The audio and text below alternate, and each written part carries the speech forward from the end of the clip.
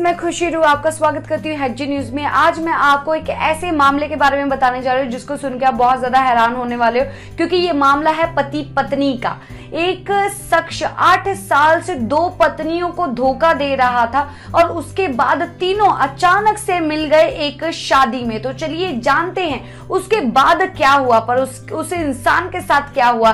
पर उससे पहले अगर आपने हमारा चैनल अभी तक सब्सक्राइब नहीं किया है तो जल्दी जल्दी हमारा चैनल सब्सक्राइब कर लीजिए और बेल आइकन को भी दबा दीजिए। अगर आपके भी आजू बाजू में ऐसा कोई शख्स है जो दो दो, तीन तीन शादियाँ किया हुआ है और जो ये सब चीज़ें करता है और लड़कियों को भी छेड़ता है और उसके माइंड में ये सब चीज़ें हैं तो प्लीज़ हमें एक कमेंट ज़रूर कीजिए और साथ के साथ एक लाइक ठोकते हुए भी ज़रूर जाइए। तो शुरू करते हैं आज की न्यूज़ एक बिल्डर है, जिसका नाम है राहुल राहुल उर्फ़ राघव। वो नोएडा का रहने वाला है और नोएडा में उसने दो दो शादियाँ की हुई हैं और दो दो शादियाँ उसने की हैं और अभी तक किसी को पता नहीं चला था और उसको दूसरी शादी किए हुए तो आठ साल हो चुके हैं और तो और उसने दोनों बीवियों के साथ रहने के लिए प्लान भी कर लिया। उसने दोनों बीवियाँ साथ में न रहे तो पहली बीवी को सेक्टर 49 में रख दिया और दूसरी बेबी को सेक्टर 39 में रख दिया। और उसी के साथ उसने अलग अलग घर भी दिला दिए और उसी के साथ उसने यहाँ तक का भी प्लान कर लिया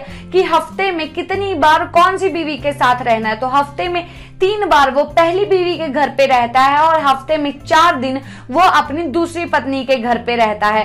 तब इस चीज़ का खुलासा तब हुआ जब एक क्रिकेटर के एक शादी मोहरों में वो लोग गए हुए थे और वहाँ पर उसका जो दूसरी पत्नी भी गई हुई थी और जब वो पति वहाँ पर दिखा और एक दूसरी लेडी के साथ वो बात कर रहा था, तब उसने जब वहाँ पे छानबीन की कि वो लड़की कौन है, वो औरत कौन है, तब वहाँ से पता चला कि उसकी ये पहली पत्नी है।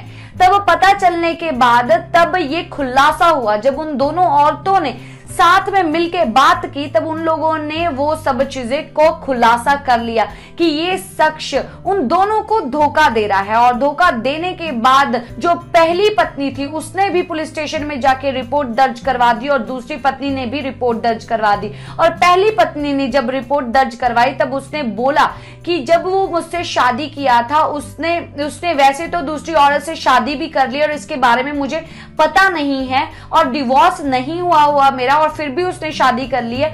और जब शादी मेरे साथ की हुई थी, तब उसके ऊपर उसने ये भी आरोप लगाया कि उस, वो एक एज बिल्डर है। और बिल्डर होने के नाते उसको अपना बिज़नेस करना था तो उसने मुझसे 87 लाख रुपया लिया हुआ था बिज़नेस करने के लिए। और दूसरी पत्नी का भी सेम ऐसा ही कहना है। उसने ये बोला कि मुझे आठ साल हो गए हैं इससे शादी किए हुए। हमारा प्यार हुआ था। प्यार होने के बाद हमारी लव मैरिज हुई। हमारे बच्चे भी हैं। और उसने मुझे शादी होने के कुछ महीने बाद ही उसने मुझसे पंद्रह लाख रुपए मांगा, जो कि बिज़नेस के लिए चाहिए था उसको। तो उसने बिज़नेस के लिए दे दिया। फिर उसके बाद उसने उससे पच्चीस लाख रुपए मांगा। तो उस औरत ने, जो दूसरी उसकी पत्नी थी, उसने अपनी पच्चीस लाख की ज्वेलरी बेच के पच्चीस लाख तक उसको करके दे दिया। तो ये दोनों बीवियों का आरोप है और अभी इसके ऊपर केस दर्ज हो गया है और दर्ज होने के बाद आरोपी फरार हो गया और उसको ढूंढा जा रहा है और ढूँढने के बाद उससे और भी पूछताछ की जाएगी। तो गाइज़ ऐसे भी धोखाधड़ी हो सकती है। कभी भी किसी भी इंसान का पता नहीं होता। एक्चुअली में वो सामने क्या है और पीछे क्या है। उसके बैकग्राउंड क्या है क्या चल रहा है उसकी और जगह पे सब चीज़ें क्या है। क्या ये अगर ये चार दिन तक वो घर पे नहीं आता था तो क्या पत्नी नहीं पूछती थी? पहली पत्नी। और दोनों पत्नियों ने उसको बहुत ही ज़्यादा छूट दे रखी थी। मतलब कि दो दो तीन तीन दिन वो अलग रह जाता था और पत्नियाँ कोई भी डाउट नहीं करती थी। और वो लोग आरा, वो आराम से इतने साल तक दो पत्नियों को मेंटेन कर रहा था। तो अभी खुल गया उसका खुलासा और हो गया वो फरार। तो अगर वो मिलेगा और हमें उसके आगे की जानकारी मिली तो हम आप तक ज़रूर पहुंचाएँगे। पर उससे पहले अगर आपने हमारा चैनल सब्सक्राइब नहीं किया तो चैनल को सब्सक्राइब कर लीजिए और बेल आइकन को भी दबा दीजिए। अगर आज की जानकारी सुन के आपको अजीब सा लगा है और आपके भी आजू बाजू में ऐसे ही कुछ केस हुआ है या कुछ होता रहता है तो प्लीज़ हमें कमेंट करके ज़रूर बताइए। अपना एक्सपीरियंस ज़रूर शेयर कीजिए और साथ के साथ एक लाइक ठुकते हुए ज़रूर जाइए। इसी के साथ मैं लेती हूँ इजाज़त। बाय टेक केयर नमस्कार। अगर ये खबर आपको पसंद आई हो तो आप वीडियो को लाइक करें, चैनल को सब्सक्राइब करना ना भूलें। Thanks for watching H news.